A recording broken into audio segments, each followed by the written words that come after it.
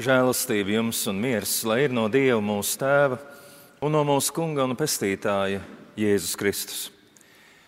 Šajā dienā mēs ieklausīsimies svēto rakstu vārdos, kas ir viens no šai nedēļai paredzētajiem tekstiem. Un tie ir vārdi, kurus mēs lasām Lūkas evanģēlīja trešajā nodaļā, kur sākot ar pirmo pantu, tā ir rakstīts.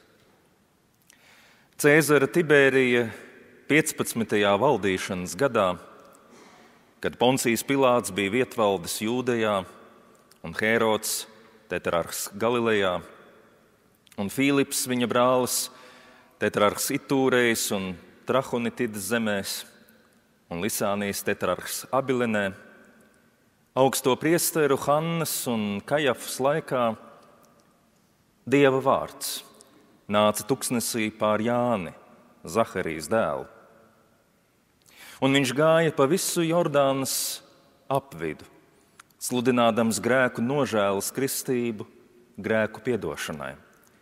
Kā rakstīts pravieša Iesaijas grāmatā, saucēja balss: Tuksnesī sagatavojiet kungam ceļu, dariet līdzenas viņa takas. Katra ielēja, lai to piepildītu, un katrs pakalns un augurs, lai tiek nolīdzināts. Līkumi, lai top taisni, un grambas par līdzenu ceļu, un visa miesa redzēs dieva pestīšanu. Āmen! Debes Tēvs, mēs Tev pateicamies, ka Tu ļāvi mums dzirdēt Tavus vārdus. Un mēs Tev lūdzam svētī mūs tos pārdomājot. Ļauj mums katram sadzirdēt to, ko Tu mums vēlies sacīt, jo Tavi vārdi ir mūžīga patiesība un dzīvība. Āmen!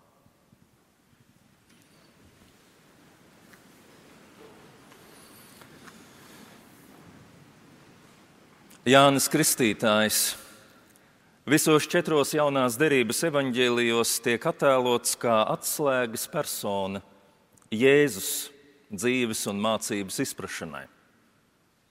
Jānis ir tas, kurš sagatavo ceļu un norāda virzienu, kādā mums ir jāuztver viss tālāk notiekošais, ko un kā Jēzus mācīja, kāds bija viņa dzīves un nākšanas nolūks un uzdevums.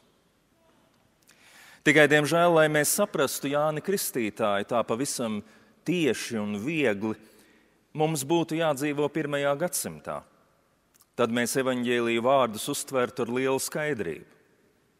Diemžēl ir pagājis krietnes laiks, un mēs dzīvojam citā kultūrā un vidē, un līdz ar to ir nepieciešama zināma piepūle, lai mēs savukārt nonāktu līdz Jāņa Kristītāja personai un viņa darbībai.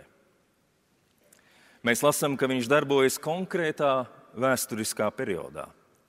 Uz to norāda tas plašais valdnieku saraksts, kas tā laika pasaulē ir praktiski vienīgais veids, kā nodrošināt un norādīt uz konkrētu laiku, kad aprakstītie notikumi ir norisinājušies. Un Jāņa Kristītāja darbība tiek izteikta ar šo vienu teikumu. Viņš gāja pa visu Jardānas apvidu sludinādams grēku nožēlas kristību, grēku piedošanai.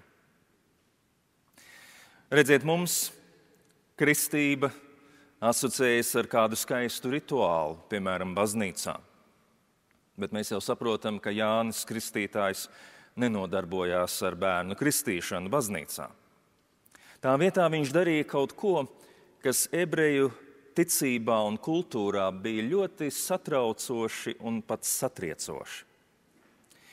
Jo tas, ko mēs varbūt nedzirdam un nejūtam, ka viņš darbojās tieši tajā vietā, kur saskaņā ar vecās derības vēsti Izrēlieši bija savulaik šķērsojuši Jardānas upi, lai pēc daudzu gadu ceļojumiem tuksnesī beidzot ieietu apsolītajā zemē.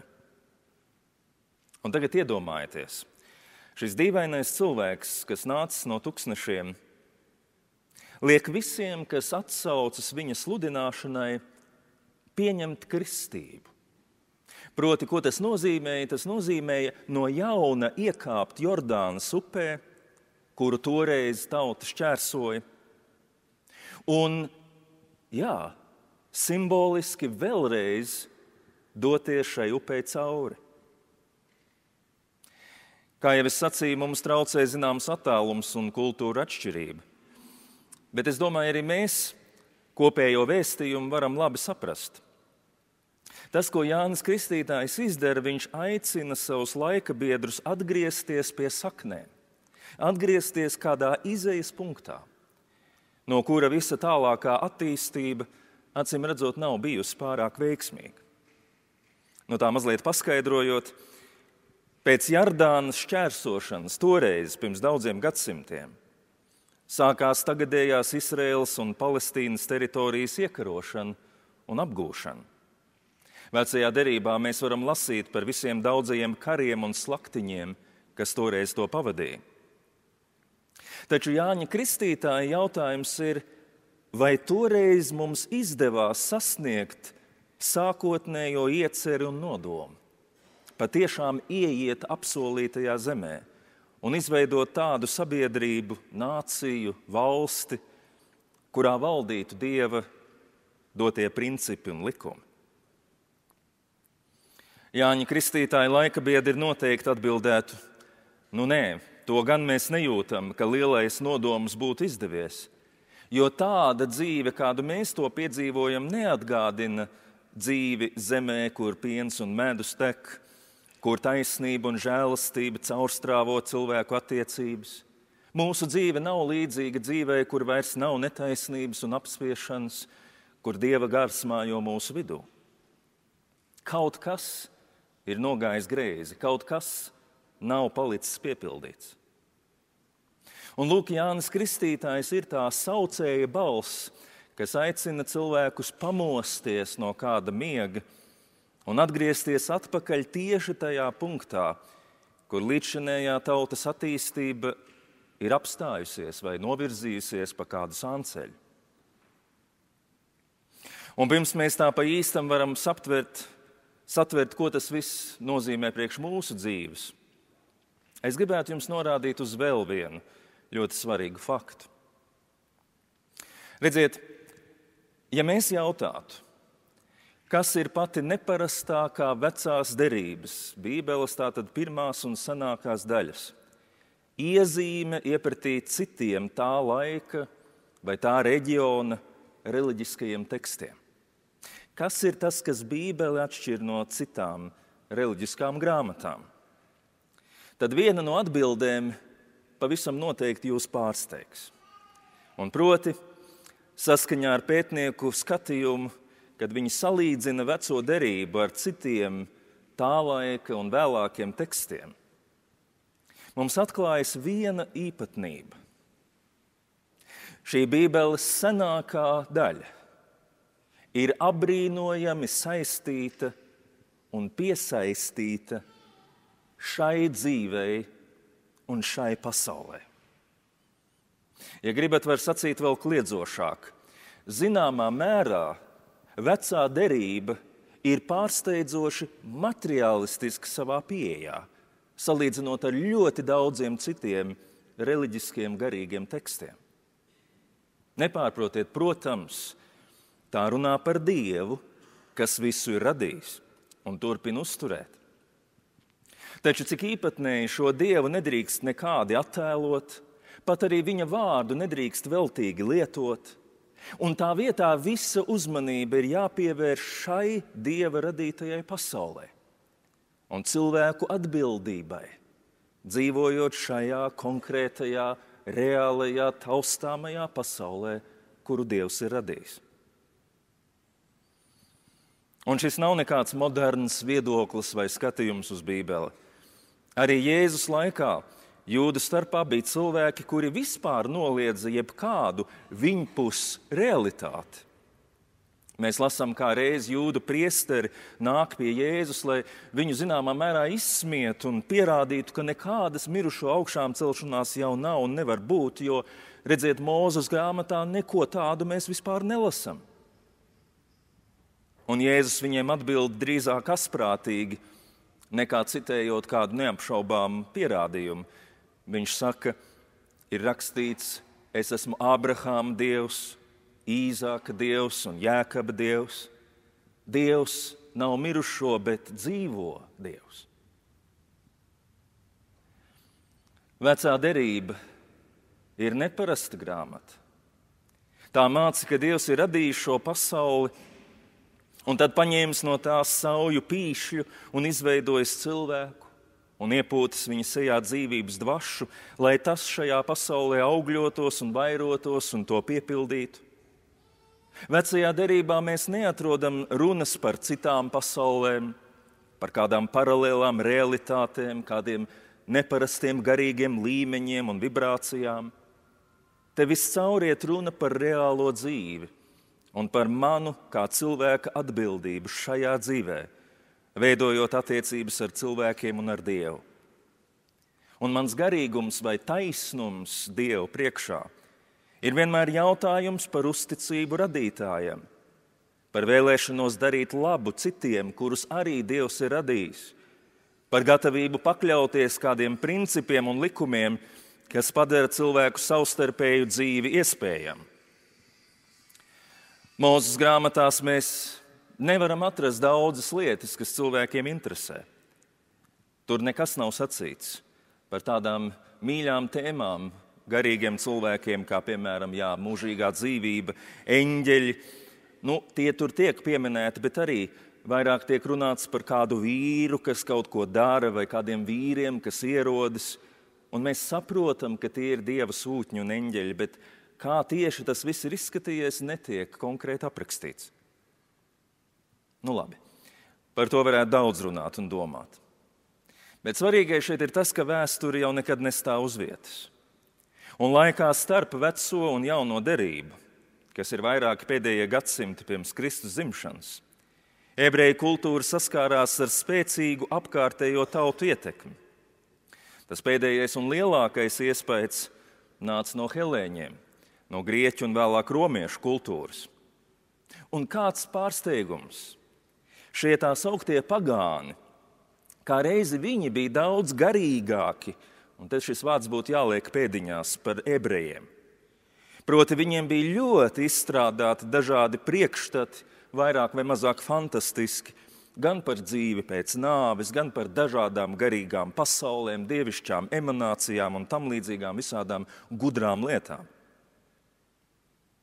Un no turienes arī ebreju vidē sāka rasties dažādi teksti un mācības, kas gluži kā sēnes pēc lietus vairojās lielā ātrumā, cenšoties kaut kā aizpildīt vecās derības trūkumu, vai precīzāk sakot, klusēšanu.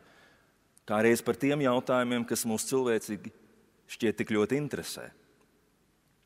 Mēs atrodam tekstus, kur čūska, kuru mūzes grāmatas vienkārši nosauc par gudrāko no visiem lauku zvēriem, ko Dievs bija radījis. Kļūst par arhetipisku ļaunumu iemiesojumu, par garīgu būtni ar garu priekšvēsturi, spilgtām īpašībām. Parādās dažādi spriedumi par to, kas ir noticis debesīs pirms ir radīta šī pasaule tiek sacerēti apraksti par eņģeļiem un viņu cīņām, un, protams, par pasaules nākotni un par visu to, kas ar mums notiks pēc šīs zemes dzīves robežām un tā tālāk. Redziet, ja mēs ar jums dzīvotu pirmajā gadsimtā, man nevajadzētu to jums šorīt visu stāstīt un apgrūtināt jūs ar šiem vēsturiskajiem faktiem. Jūs vienkārši to zinātu no savas pieredzes, ka situācija ir tāda, ka tad, kad mēs paņemam rokās Bībeli, viņa runā par seniem, bet ļoti konkrētiem vēsturiskiem procesiem. Iedomājieties, tur pat īsti nav tāda jēdziena kā Dieva valstība. Tur iet runa par to, kā Dievs izved savu tautu no Eģiptes, kas ir viena vieta, uz apsolīto zemi, kas ir otra vieta uz kartes. Mēs zinātu, ka Bībele ir ļoti praktiska. Bet vienlaikus ļaudis mums līdzās tic visādām dīvainām, kā viņi paši uzskata, ļoti garīgām lietām. Izsakoties tādā mūsdienu līdzībā, grāmatu plaukti ir pilni ar ezotērisku literatūru. Dažādām gaumēm, dažādā kvalitātē, cik nu kuram pieticis gudrības vai fantāzijas. Un cilvēki to lasa un pārspriež un aizraujas un jūtas kādreiz ļoti gudri un ļoti garīgi. Bet Bībele ar visiem saviem baušļiem ir palikusi novārtā. Nu, kuram tad patīk moralizēšana? Tā vietā labāk cilvēki apspriež jautājumu, ar ko trešās debesis atšķiras no septītajām, un kā mirušie iespējams ietekmē mūsu likteņus un kā mēs varam ar viņiem sazināties. Īsi sakot, Jāņa Kristītāja laikā vecās derības ļoti skaidri iesāktais ceļš, kas vēlreiz sacīšu, padara šo grāmatu absolūti unikālu pārējo reliģisko tekstu vidū. Šis iesāktais ceļš, kas saka, garīgums ir šeit, garīgums ir mūsu attiecībās. Šīs vecās derības iesāktais virziens ir praktiski pazaudēts. No praktiskas, reālas, taustāmas dzīves un attiecībām akcents tiek pārnests uz teorētiskām zināšanām, uz atziņām grieķu neoplatonistu stilā. Cilvēki ir aizstājuši reālas dzīves pārmaiņas ar fantāzijām par garīgām pasaulēm un debesu ainavām. Un tad tuksnesī, klusumā, lūkšanā. Dieva vārds nāk par Jānu. Un atļaujiet man interpretēt viņa vēsti. Tas, ko viņš sajūt un sludina cilvēkiem, ir, ka viņš saka, tas, ko mēs darām, taču ir aplami. Mums ir jāatgriežas atpakaļ pie paša pamata. Mums ir jāmaina mūsu domāšanas virziens, jāmaina mūsu pieeja dzīvei un reliģijai, atpakaļ pie sākotnēm. Tāpēc arī Jānis aicina uz ļoti praktisku fizisku darbību, nomazgāt savus grēkus. Un atcerēsimies vēlreiz, ka hamartija vai grēks nozīmē netrāpīšanu mērķī. Proti, viņš saka, mums ir jāatsakās, jāatstāj sava līdzinējā nomaldīšanās.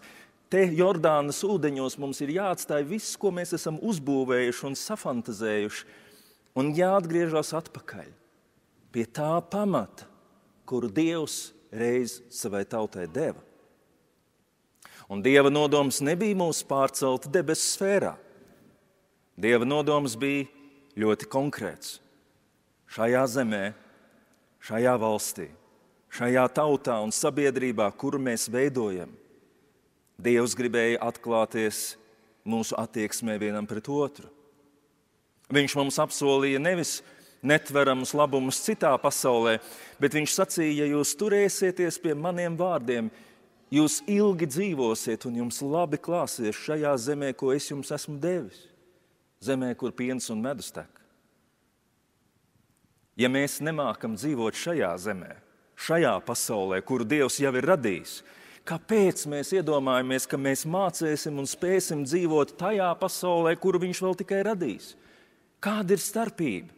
Ja tu neesi uzticams viņam tagad, kad, kāpēc tu domā, ka tu būsi viņam uzticīgs, ja tu pāries no šīs telpas otrā? Es ceru, ka jūs tagad sajūtat, kāda milzīga uzskatu un pieeju sadursme tur notiek. Cik milzīgu viļņošanos Jānis izraisa paziņodams, ka esam aizpeldējuši mākoņos, bet mums laiks atgriezties uz zemes. Mēs sapņojam, bet tā vietā mums ir nepieciešams rīkoties. Garīgums nav iedomātas atziņas par paralēlām pasaulēm. Garīgums ir tad, ja tev izdodas tikt pāri savam egoismam un pieturēties pie dieva likumiem, kas starp citu bija bezgala praktiski un vienmēr ir vērsti tikai un vienīgi uz to, lai mēs nedarītu viens otram ļaunu, lai mēs varētu dzīvot viens ar otru kopā šajā vienā kopīgajā zemē, pasaulē, un laikā, kuru Dievs mums ir devis. Jāmainās ir nevis mūsu teorijām, bet mūsu rīcībai. Un varbūt, ja jūs esat lasījuši un atceraties, tas bija, ko Jānis Kristītājs sacīja saviem klausītājiem. Viņš saka, nedomājiet, ka jūs varat tā vienkārši izmainīt šo pasauli, mainot savas fantāzijas.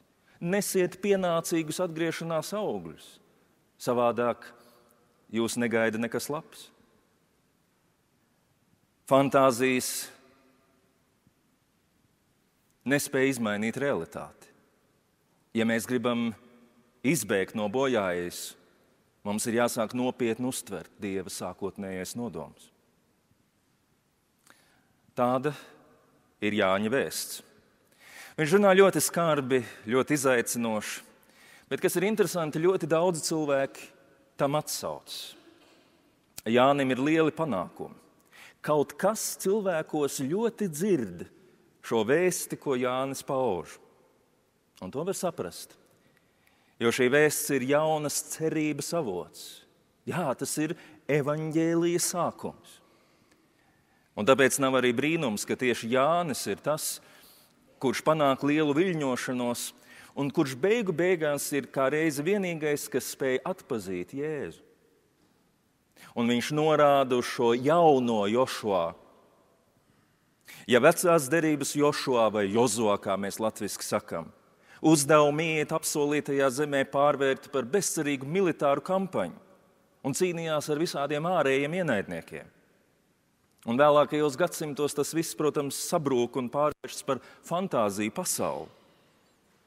Tad šeit mums priekšā ir cits Jošua, vai aramiešu valodā Ješu, Jēzus.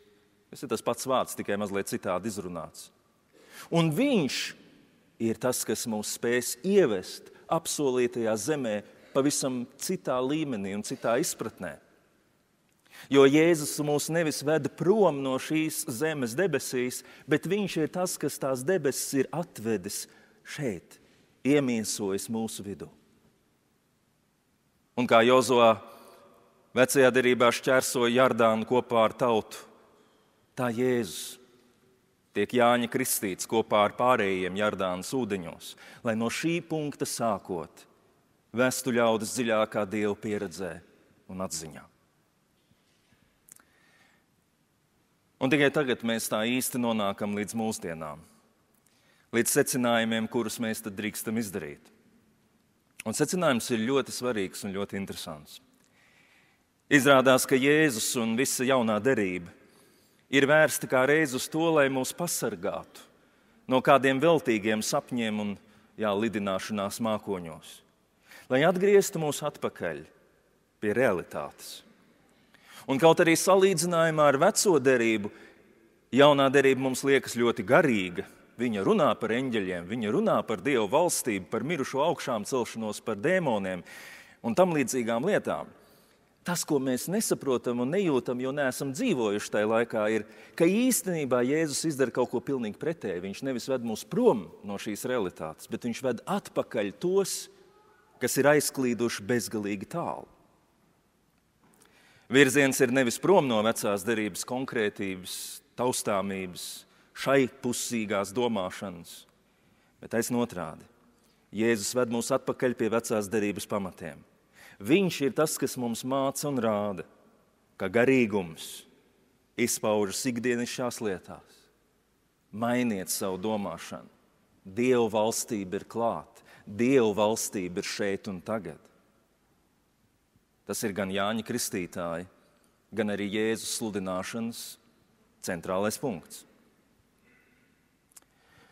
Un tas nozīmē, ka arī adventa laiks un būtībā ikviena mūsu dzīves diena un situācija ir kā reiz aicinājums mācīties Dieva klātbūtni saskatīt reālajā dzīvē, reālajās attiecībās, pievērst vislielāko uzmanību dzīviem, konkrētiem cilvēkiem, kas ir mums līdzās, jo tieši no šādām dzīvām, siltām attiecībām veidojas spēks un iedvesma mūsu sirdī. Neviena fantāzija nestāv pat tuvu klāt konkrēta cilvēka pieskārienam, tuvumam, mīļumam. Jo jaunās derības vēsts ir šī, nodzīvo savu dzīvi šeit. Un tad esi pilnīgi mierīgs par savu dzīvi tur. Jo radītājs ir tevi aicinājis šajā dzīvē. Un pēc šīs dzīves robežām tu atgriezīsies viņa rokās. Ko viņš darīs tālāk, kādu turpinājumu viņš veidos, tas mūsu prātam paliek neaptverams. Bet mēs paļaujamies uz viņa mīlestību. Bet kamēr mēs savu nākotni uzticam viņam, mēs drīkstam spērt pirmo soli, lai šajā laikā, lai šeit, kur mēs esam, arī šajās dienās pirms Ziemassvētkiem, mēs izrādītu viens otram mīlestību, rīkotos maķinīt godīgāk un taisnīgāk. Jo garīgi vai taisni mēs esam vai nu konkrēti tagad, vai arī mūsu garīgums visticamāk ir iedoma un fantāzija. Jānis Kristītājs mūsu ticību un arī Jēzus meklēšanu savieno ar mūsu reālo dzīvi. Tāpēc šis evanģēlīja teksts sākās ar to neparasti garo valdnieku uzskaitījumu. Konkrēti, konkrēti tajā laikā, konkrēti šajā brīdī, šeit un tagad mēs Dievu varam piedzīvot. Konkrēti tagad Kristus grib mūsu vidū tapt redzams. Tik konkrētai un tik piesaistītai pie mūsu reālās dzīves un tās izaicinājumiem ir jābūt mūsu uzticībai Dievam. Tad Dieva vārdi sāk mūsos īstenoties. Un tad mēs pēkšņi saprotam, ka runa nav par fantāzijām. Runa ir par kaut ko bezgala īstu. Dievs ir mūsu vidū. Ikvienā no mums Katrā cilvēkā viņš grib atklāties un parādīties. Ja vien mēs spētu atgriezties pie šī izējas punkta, mēs piedzīvotu brīnumus, mēs sajustu, kā Dieva gars mūs paceļ un vada. Uz to mūs aicina Jānis Kristītājs, lielais advents, Kristus un Dieva klātbūtnes vēstnesis. Āmen!